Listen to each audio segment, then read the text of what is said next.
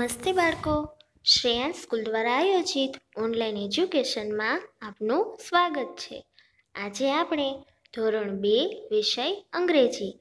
Step સેવન, જ્ઞાન કસોટીનો અભ્યાસ કરીશું.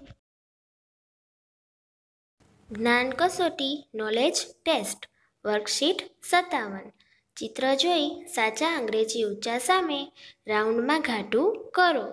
તો આપણને પહેલું ચિત્ર જુઈનું આપેલું છે.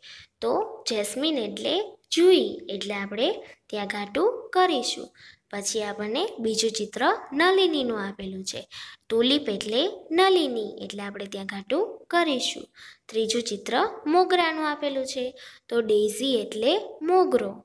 ચોથું ચિત્ર ગુલાબનું આપેલું છે. તો રોઝ એટલે ગુલાબ. એના પછીનું ચિત્ર કરેણનું આપેલું છે, તો પિંક રોઝ એટલે કરેણ. એની પછીનું ચિત્ર સૂરજમુખીનું આપેલું છે, તો સનફ્લાવર એટલે સૂરજમુખી, તો એની આગળ ઘાટું કરવાનું છે. વર્કશીટ અઠાવન.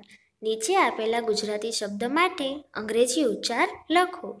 કરેણ એટલે પિંક રોઝ ચંપો એટલે ચંપા.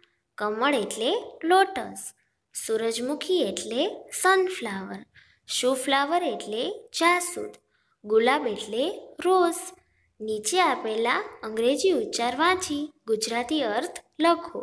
લોટસ એટલે કમળ મેરીગોલ્ડ એટલે ગલગોટો ડેઝી એટલે મોગરો એવરગ્રીન એટલે બારમાસી લીલી એટલે પોયણું અને જેસ્મિન એટલે જુઈ.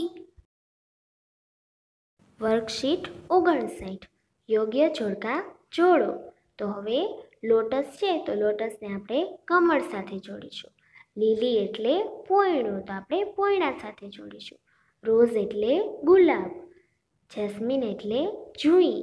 ડેઝી એટલે મોગરો. અને પિંક રોઝ એટલે કરેણ. એટલે આપણે એની સાથે એને જોડીશું.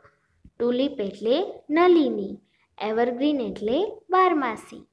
ચંપો એટલે ચંપા, ગલગોટો એટલે મેરીગોલ્ડ, સૂરજમુખી એટલે સનફ્લાવર એટલે આપણે આ બધાને એના સાચા નામ સાથે, સાચા અર્થ સાથે જોડીશું.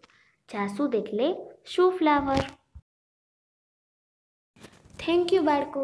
વીડિયો પસંદ આવ્યો હોય તો વિડીયોને લાઈક જરૂરથી કરજો. વીડિયો જોવા બદલ ખૂબ ખૂબ આભાર.